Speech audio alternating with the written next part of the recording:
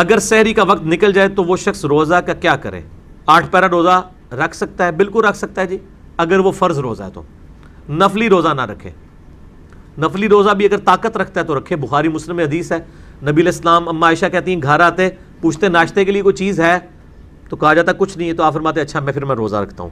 اگر آپ نے طلوع فجر یعنی فجر کا وقت داخل ہونے سے لے کے ناشتے تک کچھ کھایا پیا نہیں ہے، تو آپ اس وقت بھی نفلی روزے کی نیت کر سکتے ہیں۔ اور اگر ناشتے کے لیے کوئی چیز ہوتی تو آپ پھر وہ ناشتہ کر لیتے۔ تو فرض روزے کی تو ویسے ہی نیت رات کی وقت کی ہوتی ہے، تو آپ اٹھ پیرا روزہ رکھ سکتے ہیں، اس میں کوئی ممانعت نہیں ہے۔ ممانعت اس کے لیے جس بندے کی جسمانی حالت ساتھ نہ دے کہ وہ اٹھ پیرا رکھ کے منہ نہیں نہ پیا ہوئے۔ اے ہوئے کہ باقی پانچ روزے دارہ اس ایک کلے دا روزہ سنبھالنا پہ جائے۔ بخاری مسلم حدیث ہے، آپ علیہ السلام نے دیکھا کہ ایک شخص کے سر کے اوپر اتنے لوگوں نے سایہ کیا ہوا ہے۔ آپ فرمایا اس کو کیا ہوا ہے؟ تو لوگوں نے بتایا کہ اس نے روزہ رکھا ہوا ہے۔ تو آپ نے فرمایا سفر میں روزہ رکھنا کوئی نیکی نہیں ہے۔